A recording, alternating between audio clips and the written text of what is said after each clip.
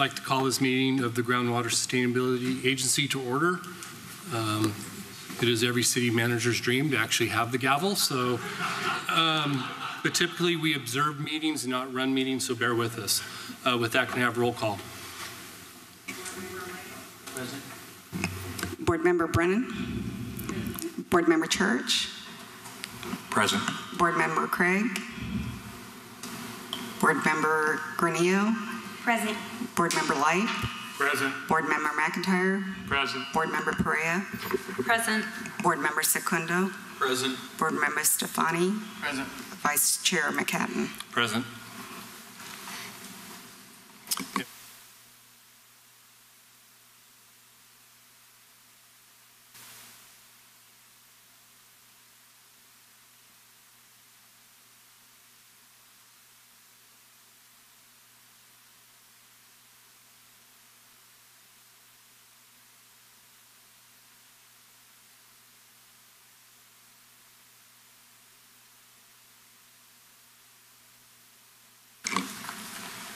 Next item on the agenda is public comment. Members of the public may comment on matters within the jurisdiction of the agency that are not on the agenda. Public comments generally are limited to two minutes per speaker. The chair may further limit the time for public comment depending on the agenda schedule. Comments on agenda items should be held until the item is reached. To be respectful of all speakers and avoid disrupting of the meeting, please refrain from applauding or jeering the speaker. Is there any public comment at this time? Good afternoon, members of the board. I'm Bill Carruthers. Uh, I'd like to call your attention to two publications. Uh, One of them is from the Pacific Institute. It's on the current economics of the various processes of water recovery and so forth. Uh, It, uh, I- we're getting copies of it made for all of you so that you can have it. I I gave it to the uh, Board of Supervisors and the uh, uh, the uh, city board as well. Uh, Cheapest water out there is runoff in the bay areas. It's $375 an acre foot. And everything, and there's a lot of it. But uh, anyway, I call your attention to this and also to the upcoming October 6th uh, Greater Vision Water Seminar uh, over at UC UC at UC at B. Anyway, good evening.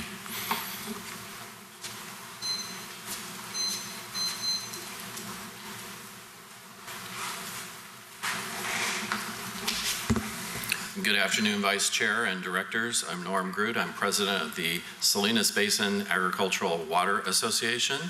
And over the past five weeks, we have conducted a election process, a secret ballot process, to elect our four directors for the seats that will be taking um, um, their positions starting October 1st.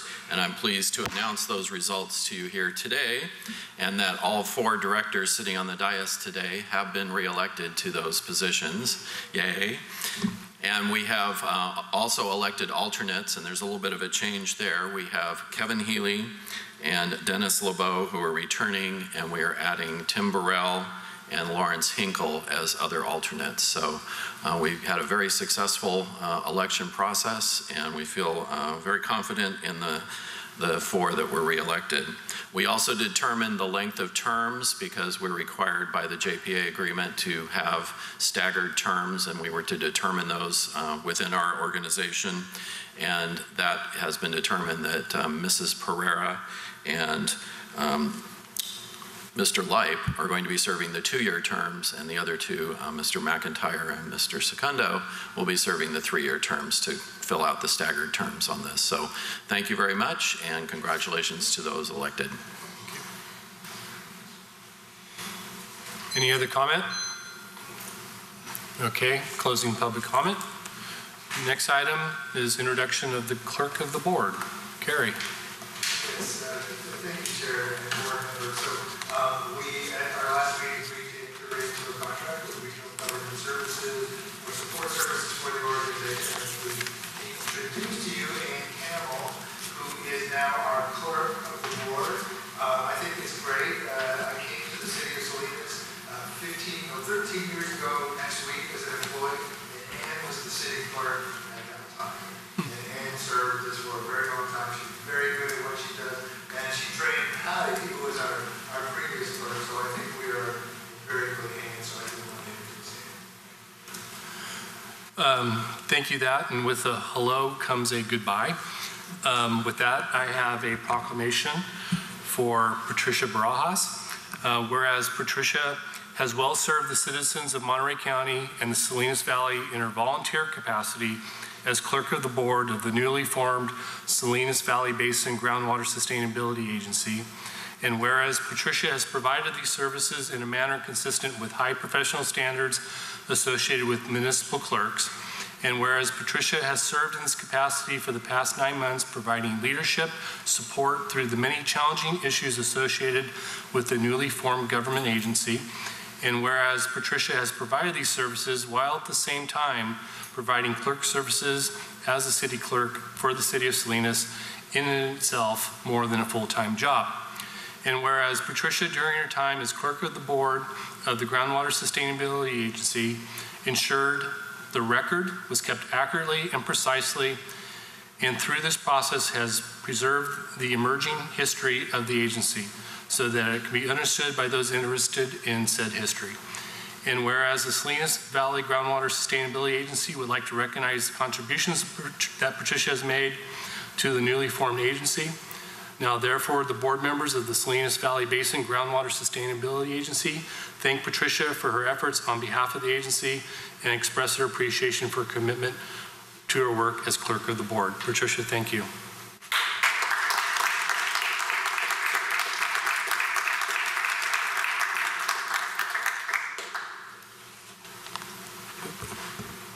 I told my staff and I told Gary and the mayor, I'm not, I'm not necessarily keen to recognitions, um, but just thank you to the board. It was definitely a pleasure serving you as the clerk, and uh, I look forward to working with every one of you in a different capacity as the clerk for the city of Salinas. So thank you. Patricia?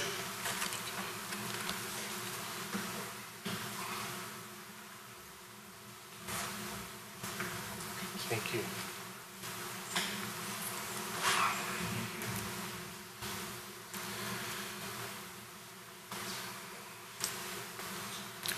Next item is approved minutes of the August 10th, 2017 regular meeting, the minutes of that meeting.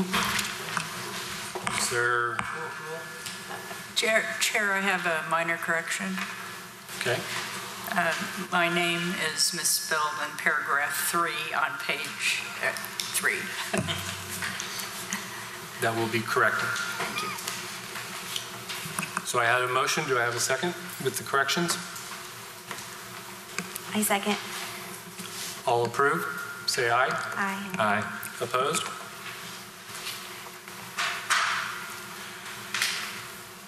Next, we have an educational presentation by Derek Williams, President of Hydrometrics, Practical Consideration in Developing Groundwater Sustainability Plans. Yes, um, your request for continued education, uh, it's proving to be easier than I thought it would be. We have folks that want to share a lot of information with us, and I heard recently from Mr. Williams, who has done a lot of work and is working in the regions, uh, region in a number of areas, uh, forming uh, groundwater sustainability plans, and he's got a, a great presentation I think will, that you'll find very helpful and useful. Thank you for joining us, Derek. It's all yours. Thank you. Thank you, Mr. Peterson. Members of the board, thank you very much. Um, If I could get some slides here. As uh, was mentioned, my name is Derek Williams. I'm a groundwater hydrologist in, here in California. I've been working on SGMA items since the legislation was passed in 2014. And today I'm going to talk a little bit about what is in your future. Uh, at last, at the last meeting, Director Brennan asked for some clarification on the components of a GSP. What are you going to have to do?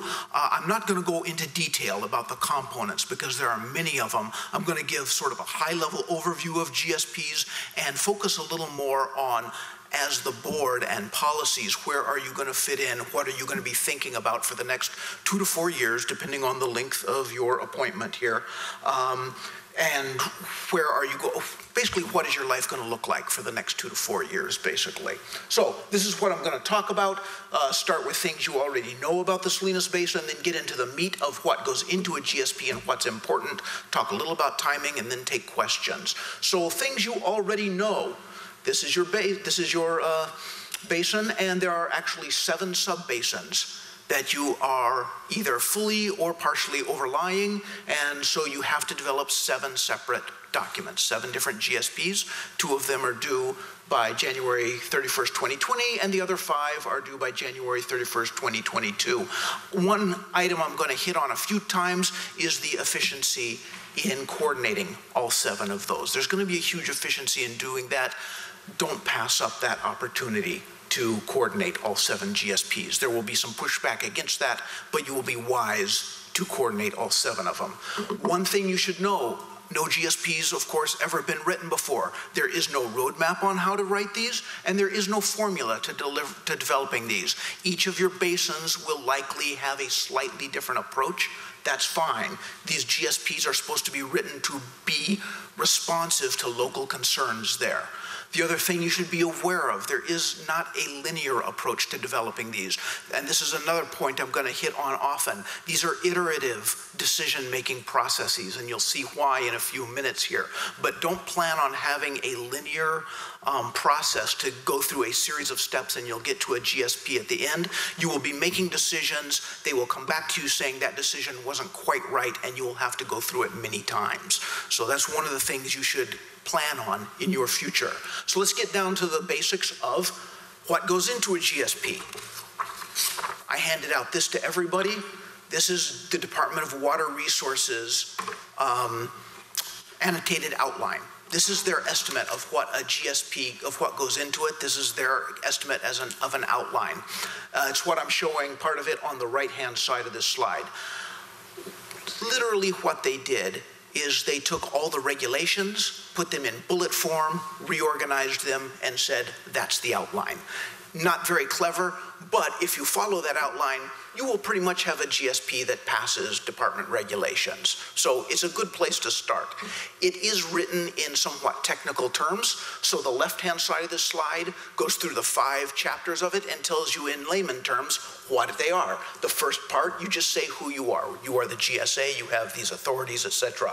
The second part is where you describe the basin that you're uh, developing the GSP for. You describe the geology, you describe the water conditions, you describe if there's seawater intrusion. The third part is where you really get into the meat of it.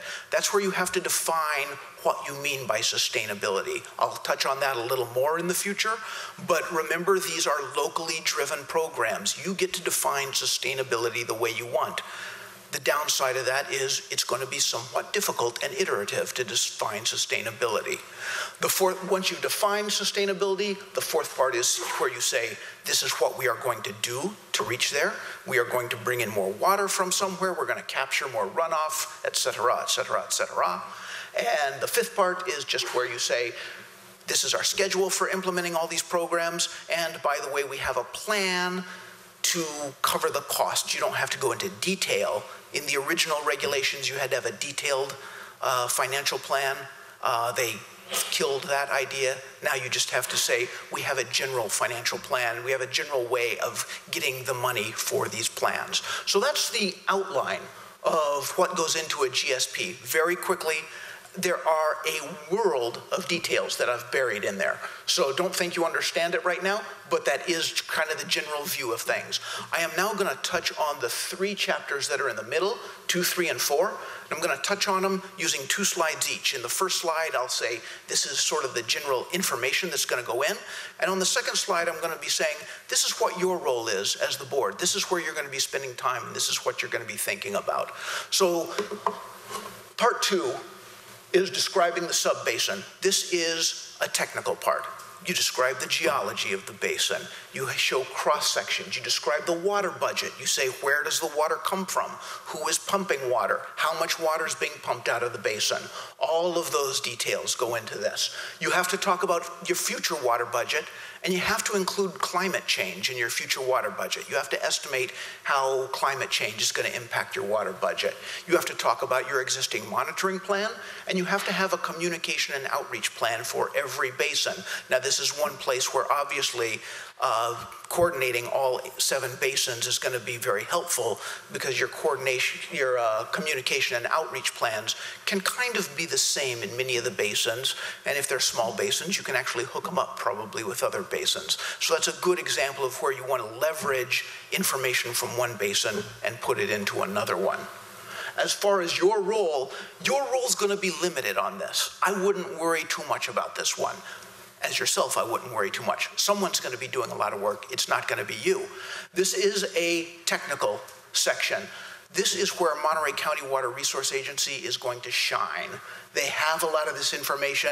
If there is a good way to get them to help out and add a lot of this information, that's exactly what you want to do. Because in this section, you don't want to do original work if it's not necessary. You want to rely on existing work if at all possible there. Doing original work in this section, you'll realize why in a little bit, doing original work doesn't get you that far down the line, actually. So leverage what you can. Don't worry about it yourself too much. This is technical. You're going to be giving it to someone else. They're going to be coming back with this information. When I say don't worry about it too much, there is a fair amount of technical work that has to be done. It's not easy but it's not a policy issue that you're going to have to worry about a lot. That gets us on to section three. And this goes on to now measuring sustainability. How do you measure it? By regulation, you have to measure it according to six items. And these are the six items you see on the white bar there. So you have to say, we are going to sustainably manage to all six of these. For each one of those, you have to set minimum thresholds and measurable objectives at every monitoring well. You can't just set it across the basin. Every monitoring well gets its own minimum threshold, its own level, and its own objective, which is another water level, basically. Undesirable results are defined across the basin. So each of those six items gets one undesirable result. It's defined across the basin. And sustainability goal is one statement for the entire basin. So some of these things are fairly general, and some of these are very specific and take a lot of thought. You also have to come up with a new monitoring network. You have to decide if your existing monitoring network is adequate, and if not, what your new monitoring network is going to look like. This is where you all are really going to start stepping up. This is probably the most iterative section of the GSP, the part that's going to take the most iterative decisions here. Because what you're effectively doing is you are looking at your neighbors, asking your neighbors, what do we want our basin to look like? What's important to us? Do we want fairly high groundwater levels? Do we want to be able to exercise our basin a lot so we can, so water levels can go up and down 100 feet or something? This is what you're to have to figure out with them. And then you're to have to quantify it and say, how do we set the minimum thresholds? What are the numbers we're setting that quantify what our neighbors want to see? So this is where the policy, the opinions, and the technical analyses all come together. And this is a fairly iterative process because you will probably be setting some minimum thresholds, set some measurable objectives on top of that, go through a few other cycles, and you'll come back and say, we can't really meet those minimum thresholds, or we can't really meet that objective. Either we need another project, or we have to reset the thresholds. That's probably what's going to happen. So plan on spending a fair amount of time making these policy decisions in coordination with your technical team of what is possible and what your neighbors want to see in the basin. One thing about this, um, the DWR is about to issue their best management practices document on sustainable management criteria. I wrote here recently released because when I put this talk together a couple weeks ago, it was supposed to be out by then. It might be out next week. They're planning on talking at, about it in Clovis next week. So they're trying to get a draft out the door before they have to talk about it. Um, but it will give a lot of insight as to how DWR views these sustainable management criteria. They consider this probably the most important chapter in the GSP because this is a sustainability plan, and this is the chapter that says this is what sustainability is. So if you don't adequately define sustainability, you really don't have a goal that you're managing towards. So they're considering this one fairly important. Um, also, this chapter appears to be poorly understood by many people. So we're expecting a lot of discussions once that best management practice comes out. That gets us to part four, the projects and programs. This is where now you have defined your sustainability. How are you going to get there? Um, you need to come up with your programs. You need to have a timeline for each one and a cost for implementation. Notice the projects don't have to be fully developed. This is a plan. This is a plan to develop and implement projects. You don't have, if you decide, clearly, you know, if you decide, well, one of the projects is going to involve the tunnel between the two reservoirs, you're not going to say we're going to have it built within the next two years. Similarly, though, if you decide one of our projects is going to involve a water market or a water trading system, you don't have to have that trading system developed by the time this plan goes out. You have to believably, to DWR's satisfaction, believably have a plan in place that you are going to implement it, but it doesn't have to be developed at this point. This is another place where there are substantial policy decisions. So this is chapters three and four, where you all are going to be making a lot of thoughts. Um, because you've got to come up with what are the programs, and you're going to have to agree among yourself. There's going to be some horse trading as to what are the programs that you can really implement here. This is a huge place where coordination says all eight subbasins. There's only seven. I had a little counting problem. Sorry about that. But coordination among all the subbasins is going to be key because the more you coordinate, the more tools you have. Basically, the more water that's in the basin, the more tools you have to move water around and get all the basins simultaneously into balance. So this is going to be an important one for coordination. It's also going to be one that's probably fairly controversial at times. My advice on this, agree to the general projects now or early so you know what's going to be possible. If you say one of our plans is to send some more water down the Salinas River, take it out and inject it into wells in the East Side Basin, maybe that's a plan. You want general agreement among everybody of yeah, we will go forward with that plan. We don't quite know the exact quantities or where we're going to inject it or anything like that, but at least get agreement among yourselves that that is a reasonable plan going forward. So when you get to this point, you'll know what your toolbox looks like. You don't want to get too far down the line without having your toolbox fairly well set. So that's the issues. Those are the, those are the big things you're going to be working on. The essence of what you're going to be doing on the board, there are going to be a lot of substantial and iterative discussions. I've listed a lot of the things here that you're going to be talking about, but this is an iterative process, a lot of policy issues that are coming up. One thing to remember, this is not necessarily a technical document. It is effectively a policy document that's supported by technical information. So that's where you're going to come in with a lot of policy decisions as to what defines uh, sustainability and how do you get there. Timeline advice, pretty straightforward. Don't wait too long. This is coming up very fast for other basins we're working in. We look at that two year timeline. We're already hard up against it, looking at all the decisions that have to be made. So don't wait too long, even for the basins that have a 2022 year uh, timeline that those you should start on fairly soon too. Don't plan everything at once, don't do everything. It's a big job. You're going to be overwhelmed if you say we're going to do all of it.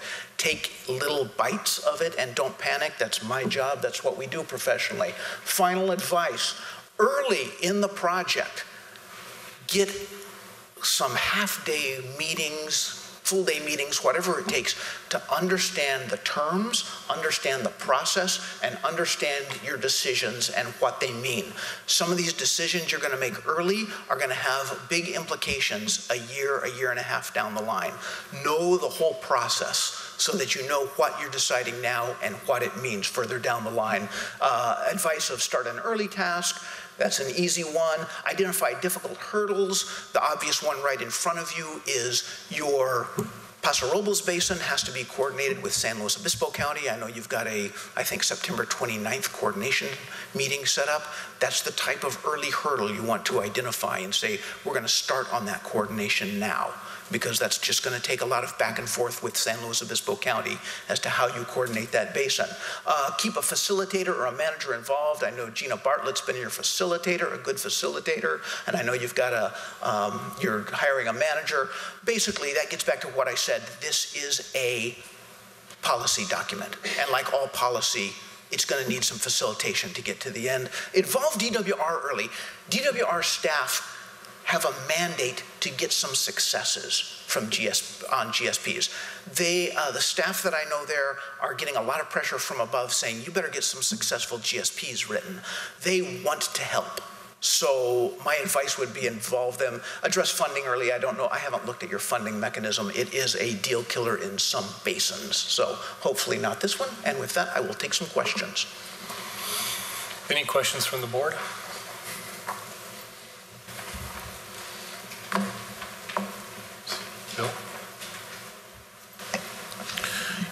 Yes, it's been, met- you mentioned about getting the GSPs underway early.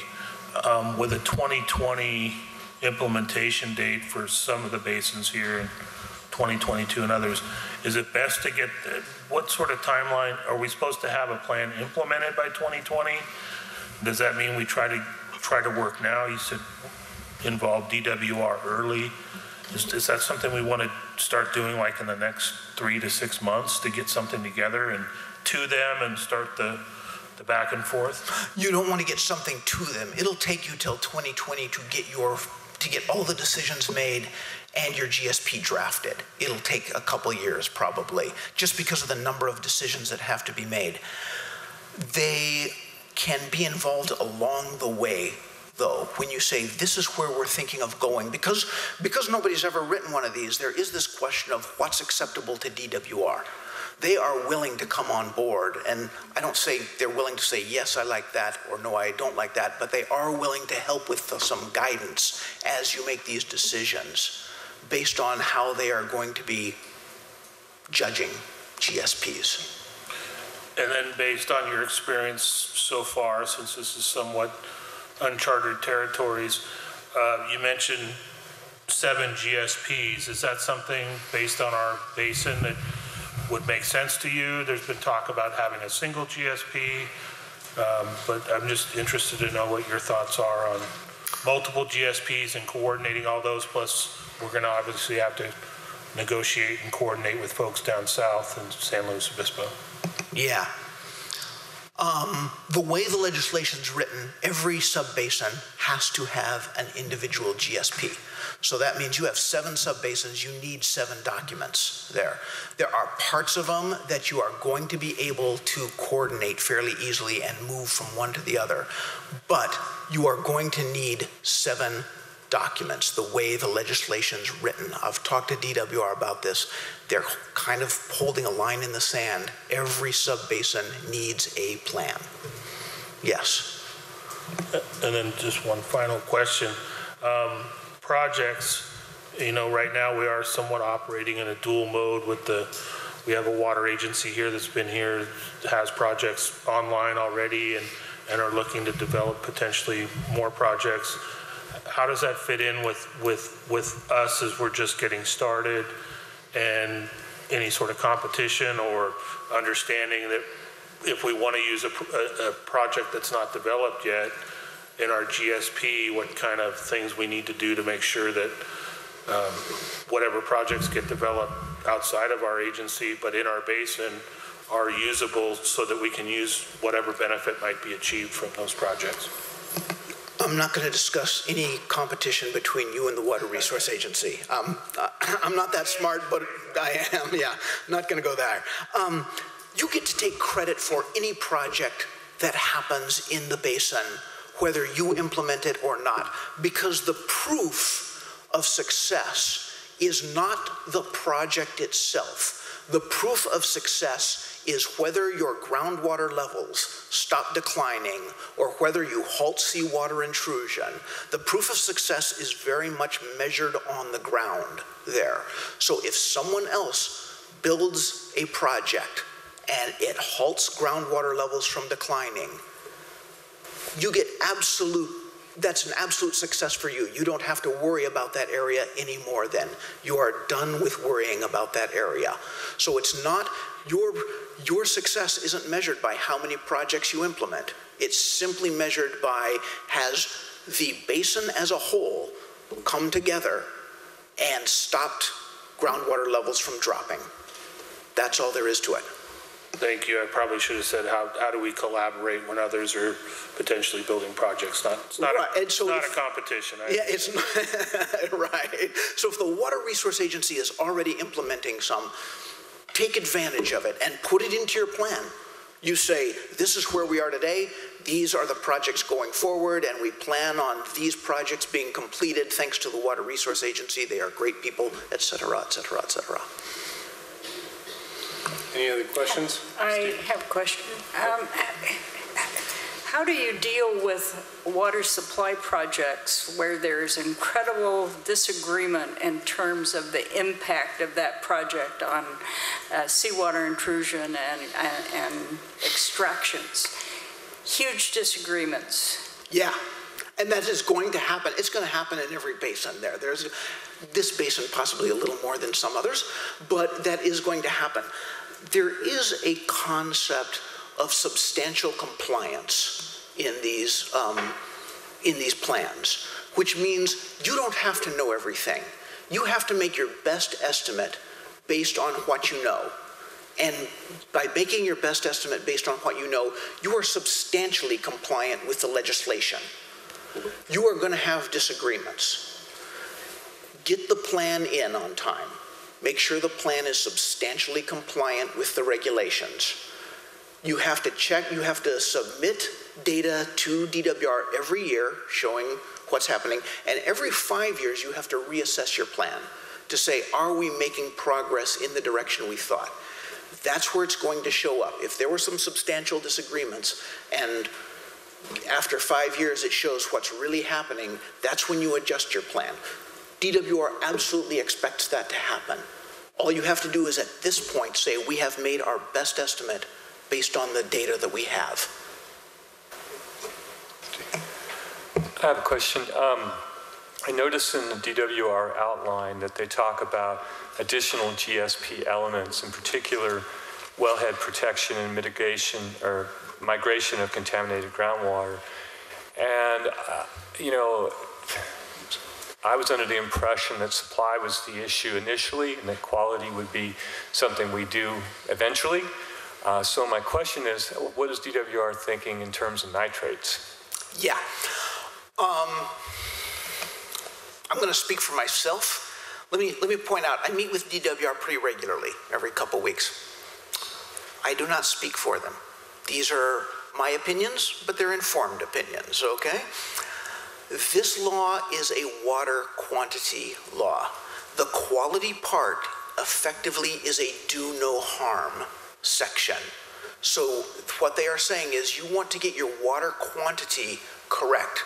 Don't do it at the expense of quality.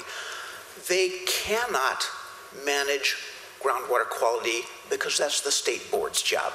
And they don't want to get in a fight with the state board. So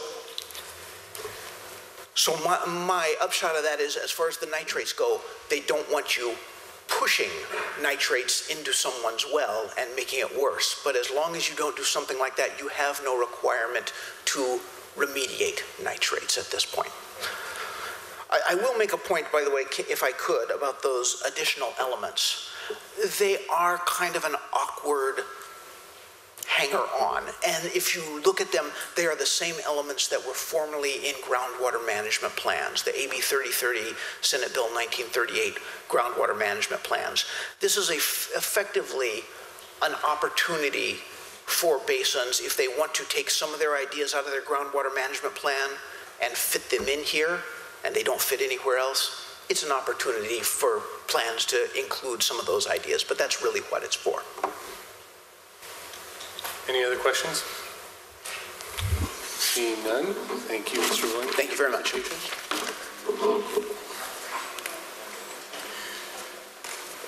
Next item is a resolution appointing. Oh, I apologize. Is there any public comment on this item?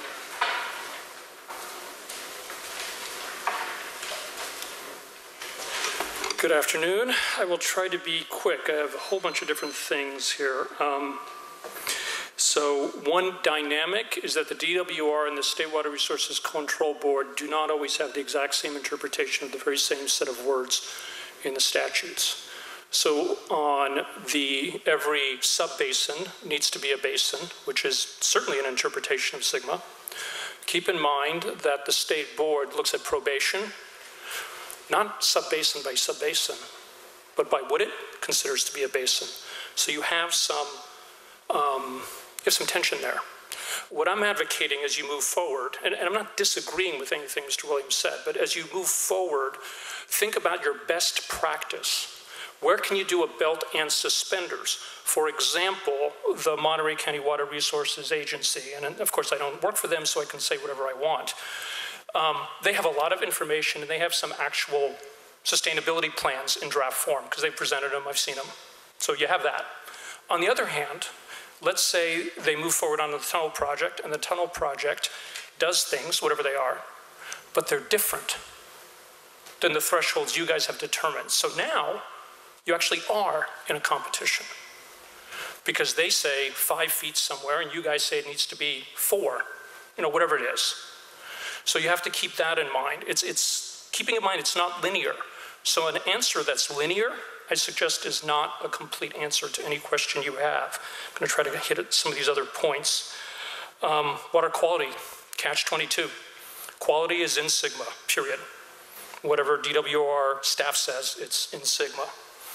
Do you have to do remediation? Probably not. But if you do water quantity projects that affect, that hurt water quality, by the metrics of DWR, that matters. Um, last piece, if I may. There's also something called management areas, so you can get even more granular with the way you manage things. That's straight out of the regulations. Um, and then the other policy thing to think of, which was not up here and it didn't need to be part of the presentation, but for you all to think about, is just how transparent are all these things you're going to be doing. It's going to come up time and time again. Thank you. Thank you.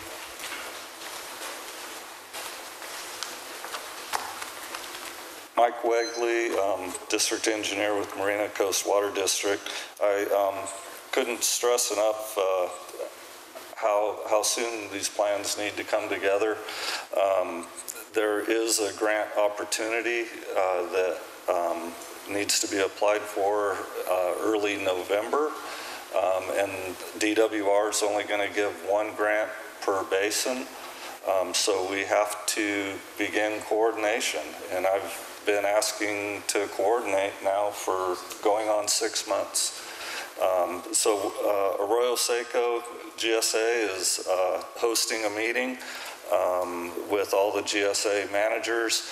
Um, the GSA's uh, Salinas Valley, like, like we were talking, it goes down through San Luis Obispo County too.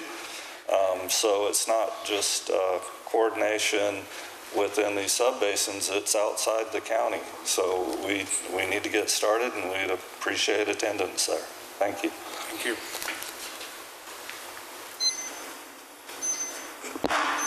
Bill Carruthers again. Uh, with the assistance of the past master of all political uh, arts and crafts in the locality of Mr. Calcagno over here. Uh, I'd like to delve into perceptions of this act, both from the uh, uh, plus and minus sides. If you go to McDonald's, you'll see a wonderful ad promoting the uh, the iceberg lettuce raiser. Some of you may know Dirk Giannini, who is featured there, and uh, understand his understandable pride in that this part of the world produces 80% of all the lettuce consumed in this whole country. We have an extremely powerful group of farmers. And if you follow this ad, you'll see their perceptions. The first thing said, their first perception is we are the backbone. Agriculture is the backbone of this country. Well, not used to be, it was. The second is farmers know best how to take care of this. Uh, if this is the best that farmers can do, I'd hate to see the worst. And the third thing you're going to see from an awful lot of the far right, and that's the Central Valley, is we were taking care of this in the past. The state is usurping our authority. It's our private matter if we want to completely destroy our aquifer underneath us. It is our God given right to do so. Thank you. Any other comment? Okay, with that, we'll move on to the next item. Item eight, so resolution appointing regional government services authorities CFO as the agency's treasurer and auditor. Gary? Thank you. Thank you, Chair. Um, So the next three items are um, an outcome of our work with RGS since we, uh, since our last meeting to set up a financial structure um, and to start to look forward. Um, I will speak to the first two. Uh, The first one is to appoint Richard Averett, the CFO of RGS, as our auditor and treasurer and the person authorized to sign checks, until which time our, our bylaws choose that. Uh, So for the first time, we'll have somebody who's capable of, of setting up bank accounts, uh, running the books, um, setting up the systems that we need to account for this organization. So the request in front of you is to approve Richard as the CFO for the organization. Any questions from the board? No, and I'll make that motion. Oh, I have a question. It's okay. Um, I just wanted to know if Mr. Arnett will be required to turn in a Form 700 and if there's already been a review to see if there's any conflicts of interest. Um, He has not, I- to my knowledge, filed that form yet. I'm not sure if it's required. He is the CFO for a number of J- of JPAs, so I'm certain if that form is required, he will file it. Um, He's very buttoned down. It's already filed. Um, Before we uh, move with our motion second, is there any public comment on this item? Seeing none, I had a motion, I believe, and a second. I'll second. Okay. All, all approved, say aye. Aye. Opposed? Motion carries. Next is a resolution authorizing the establishment of agency bank accounts at Rabobank. Gary?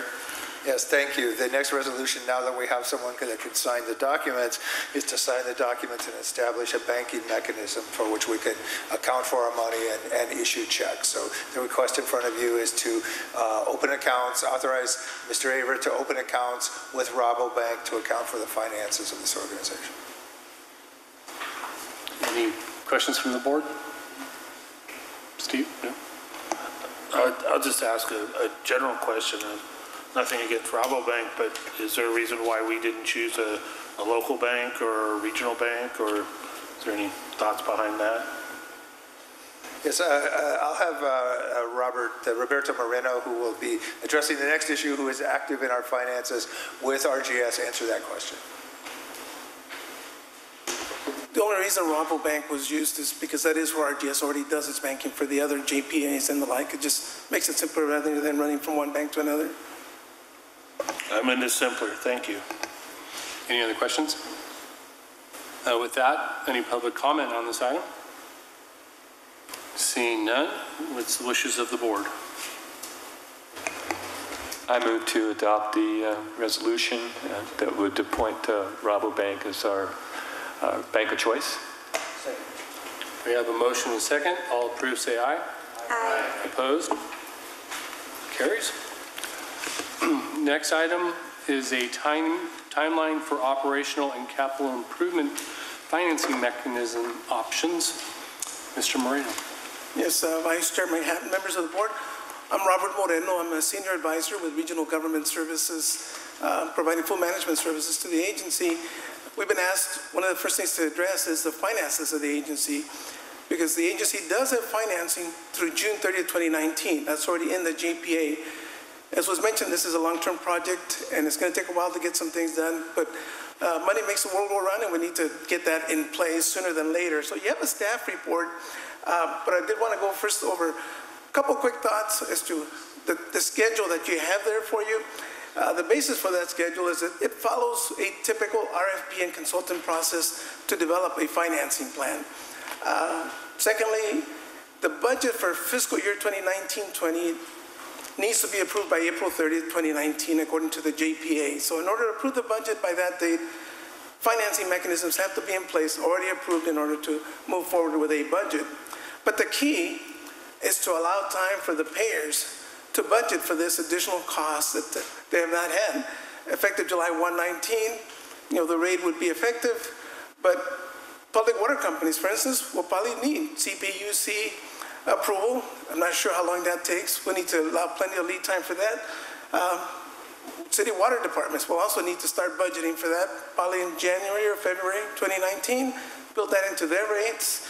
And uh, most importantly, all the ratepayers need to have an advanced knowledge of that this cost is coming down the road and what it's going to amount to them so they can start also building it into their costs. So there's a reason to do this sooner than later. The report that you have, this is a draft calendar. Uh, it's just a starting point.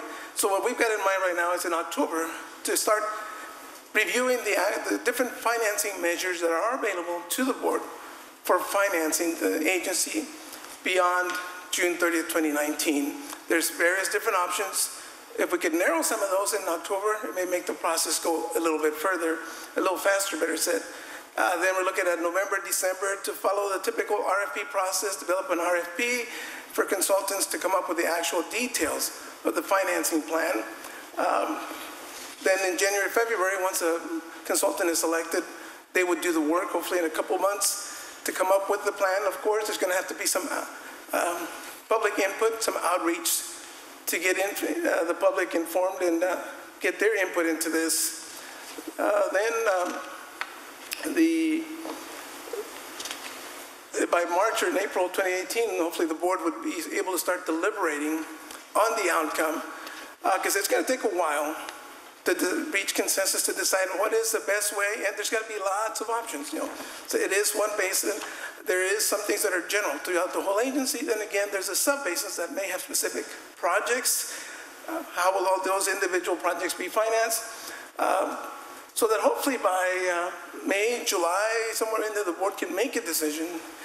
If the board can decide by that time frame, then staff can start working on putting that into place. There will be lots of steps to take place in order to make it happen.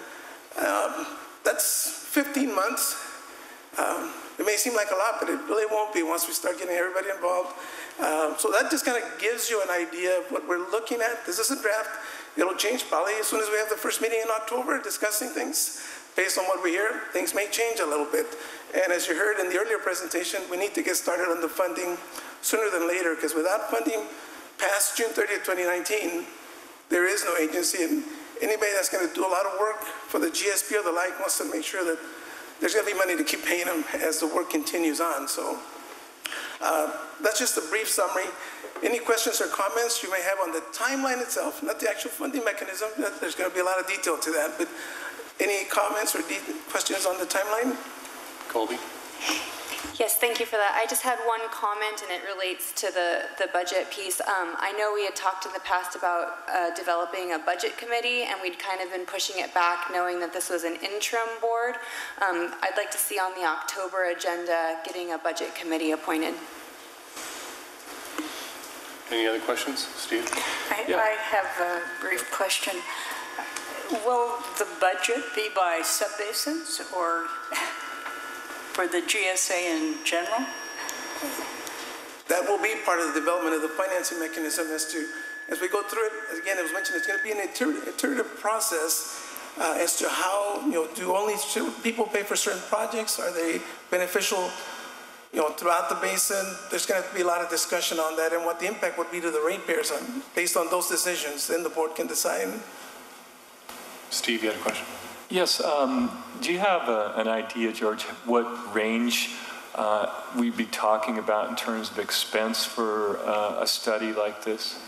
Um, This is the first one of its kind, as we said, even GSPs, these are the first time. uh, We can probably try and get you an idea of what uh, an engineering firm that does water rate studies and the like would charge, but this is going to be quite different. Uh, A lot more work involved.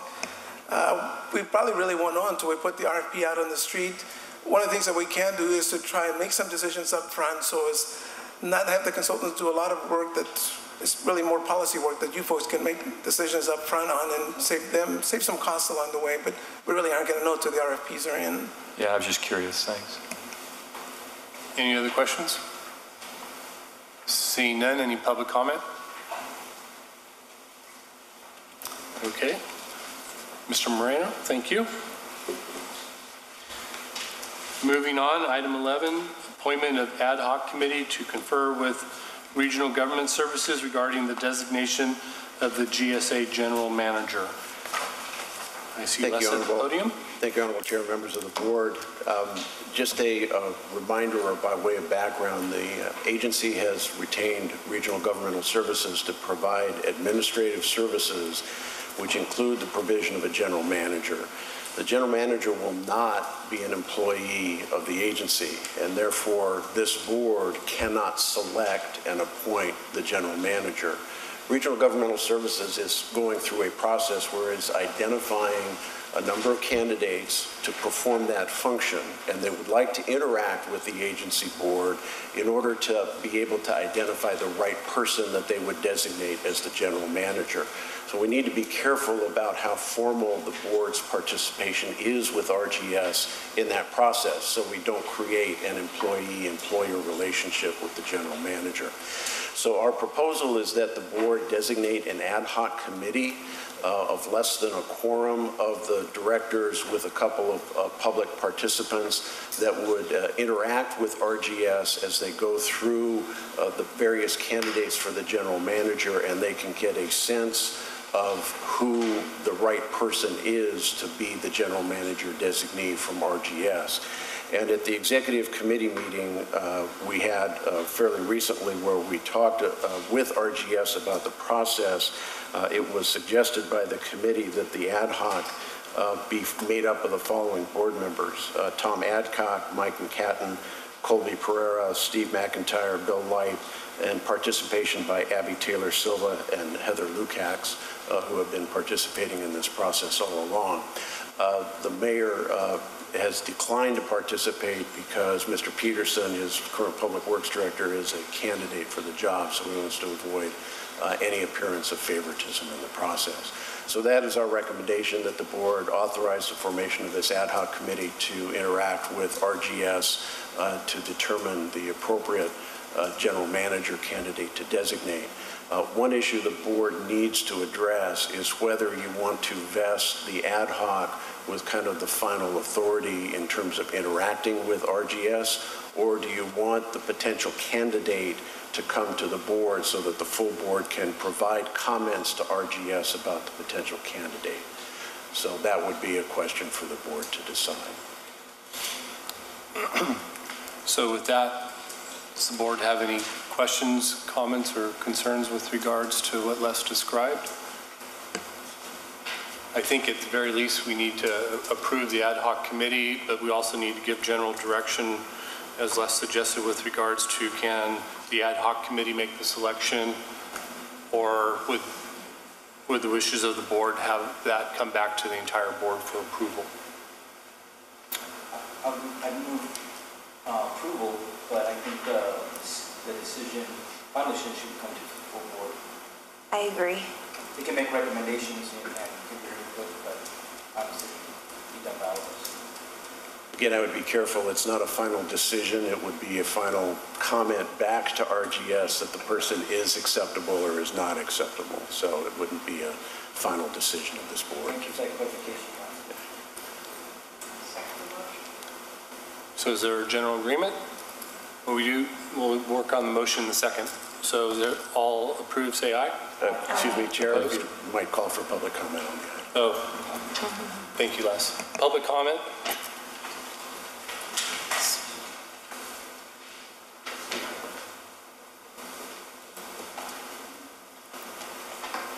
Thank you, Nancy Isakson. And I have a question. Um, So if your general manager is going to be working for your administrative services organization, they, he will be taking, or she would be taking direction then from that organization? And then would you then give direction to the organization? I'm kind of wondering what the flow chart looks like for the directing staff and the decisions and how they are made. So, The- thank the- you. The direction would come from the board to the general manager. It's just the employee relationship is with RGS, not with the agency.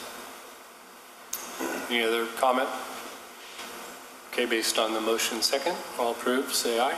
Aye. Opposed? None, moving on. Thank you. Thank you, Les. Next item is an update on request for proposals or qualifications for legal services, resolution, and also resolution for authorization to negotiate with the County of Monterey. Gary? Yes, thank you. Um, So uh, along with uh, the many activities we've taken, undertaken to build the infrastructure of this organization, um, back in uh, June and July, your, your board authorized a request for proposals for legal services. Uh, We received seven uh, responses. We had a panel of readers bring that down to uh, three interviews. Um, We had, a- we formed a panel that included Vice Chair McHatton, Member Pereira, Chair Gunter and myself to interview um, the uh, the candidates, uh, and with unanimous, it was unanimous among the parties that the the county of Monterey was best qualified to serve us. There was a number of considerations, but it is interesting as we talk about uh, groundwater sustainability, and uh, we screened for what legal entities had the most experience with groundwater sustainability agencies, given that it is so new, uh, the experience was very, very light, and as, as it came down to it, uh, the county of Monterey had uh, way more experience than many of the law firms that applied because of them having been a part from the very beginning of developing the JPA and the, J, the GSA. So our recommendation is, is to negotiate with the county to come to terms for an agreement uh, to provide legal services. And uh, your, the members of the board who participated may have comments, but other than that, uh, I think the resolution stands. Any questions from the board? Take public comment first. Um, Any comments from those on the committee? None? Okay, public comment?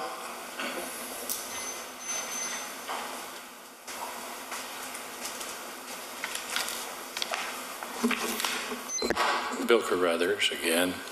Once upon a time, uh, not too long ago, the city of Salinas embarked on their most harebrained scheme, a plan for the uh, future growth areas.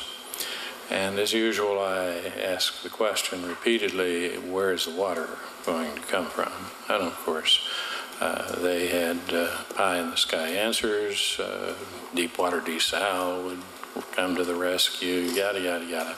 Anyway, going through the process of opposing it at every step along the way, I was frustrated at the very end because I didn't realize that she had to come back within a month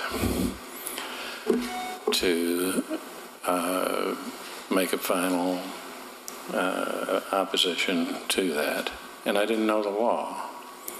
And had I known the law, we wouldn't have that stupid, incredibly poor idea in place. We wouldn't have incredibly stupid wells drilled over in the bullpen area. We wouldn't have all of this fatuous, incredible idea that we have an unlimited supply of water for every stupid project that somebody wants to build out there. But one of the things I really found out was how few of the existing attorneys in this county, there were zero who didn't have an, a conflict of interest. I would have had to gone all the way to Santa Cruz, fund everything on my own completely, just to oppose that particular thing. I think this, this question deserves more examination. I'll be happy to share with you uh, my observations on who really is qualified. Thank you. So with that, I believe we, oh, we have one more, sorry. You just want to finish the meeting, right? Just want to run it efficiently. Uh, Norm Groot for Monterey County Farm Bureau, speaking in support of the resolution to begin negotiations with the county counsel for this.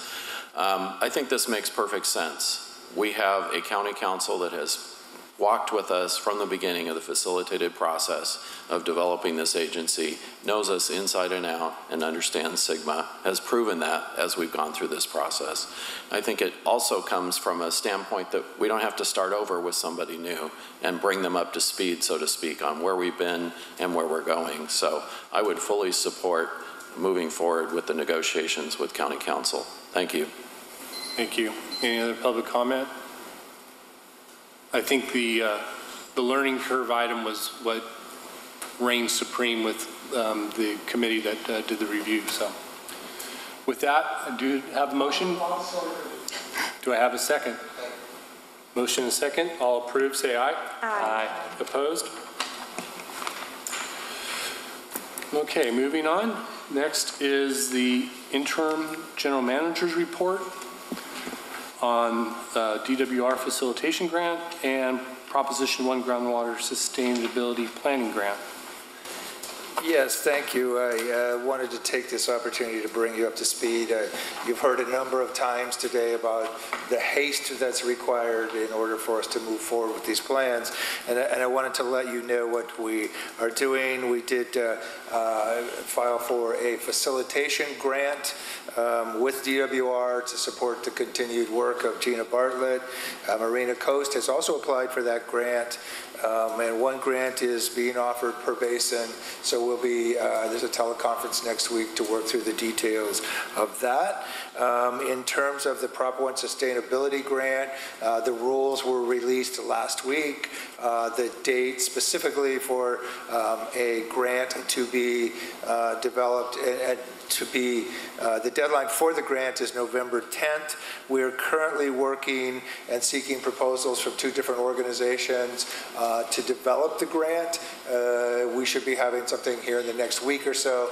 Uh, we got them started before the rules were completed so, so we could get out ahead of this and stay out ahead of this. There is work to be done around the coordination because again, they're looking at, you know, one grant per basin. Um, there's a number of decisions uh, that you're starting to get the idea about, but we have to look at a work plan for the grant. We also need to understand uh, where partnerships are, appropriate partnerships for this grant. We've heard from a number of the uh, neighboring jurisdictions, uh, and then as uh, uh, Mr. Weberly uh, mentioned in Greenfield, on November 28th is a, a meeting of all of the adjoining GSAs to discuss uh, coordination agreements, uh, and it sort of circles back because uh, part of the facilitation grant is to support the coordination agreements as well as the many conversations that will be required to develop the plan.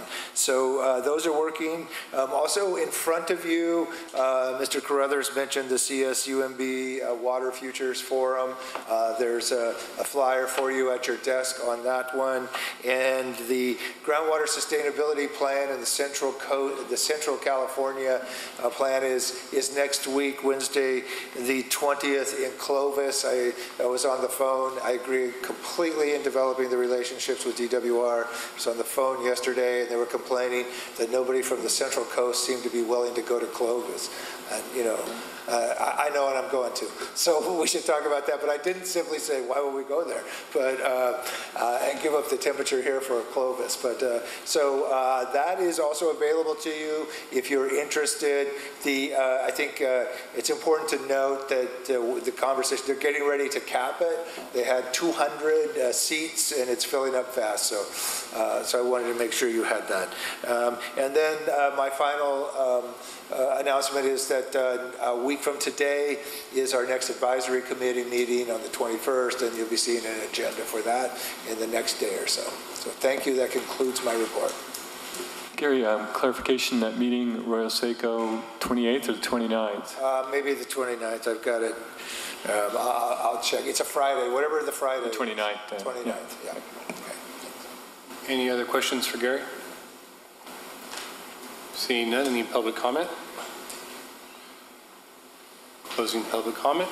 Gary, thank you. Next item is uh, director's reports and future agenda items. Include status of permanent board appointments, components of a GSP, adoption of bylaws, adoption of conflict of interest code. Um, Les, do you have anything to report on any of these items? And be- before you do that, I just want to apologize that you won't be getting a proclamation tonight.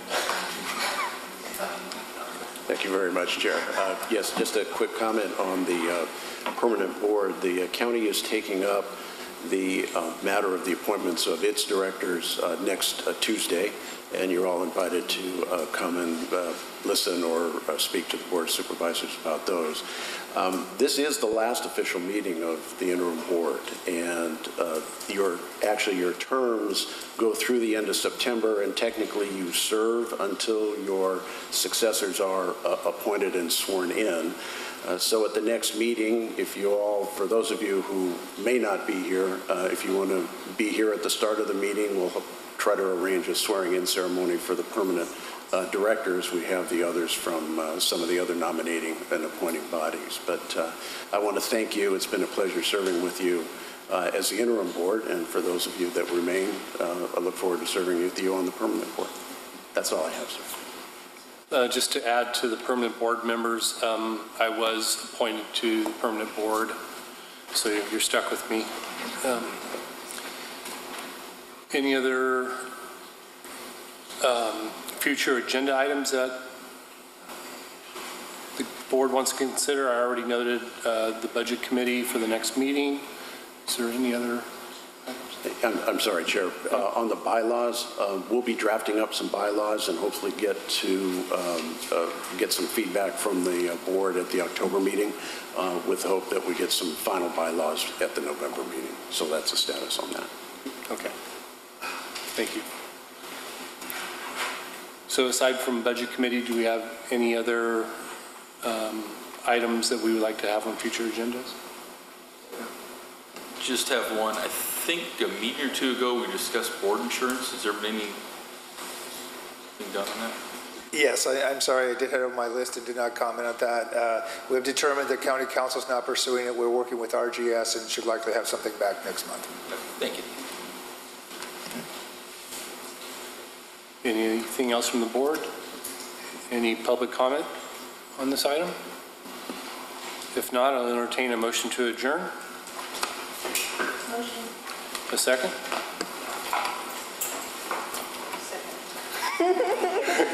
We can stay. Motion second, all approved, say aye. Aye. Meeting's adjourned.